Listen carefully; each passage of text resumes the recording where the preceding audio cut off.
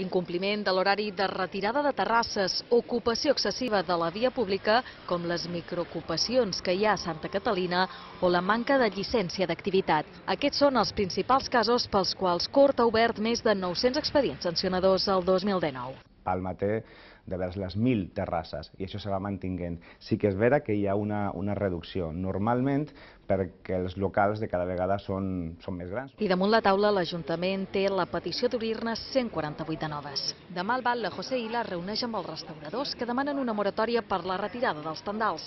En cas contrari, adverteixen, reactivaran la consulta a la ciutadania. Porque es una es un acoso que nos están haciendo con las terrazas. Nosotros somos de los que decimos que las- la ley está para cumplirla, las terrazas tienen que cumplir, pero bueno, las, eh, las terrazas, como son terrazas de bares o restaurantes, no, no, no crean ruido. Estem parlant internament la possibilitat de treure calca línia de subvencions eh, justament per eh, invertir en aquelles eh, sombrilles que des de l'Ajuntament ara obligam a que siguin les úniques que han de poder ocupar els nostres carrers. El sector de la restauració critica que són molts els locals que ja han hagut de tancar a causa de l'ordenança.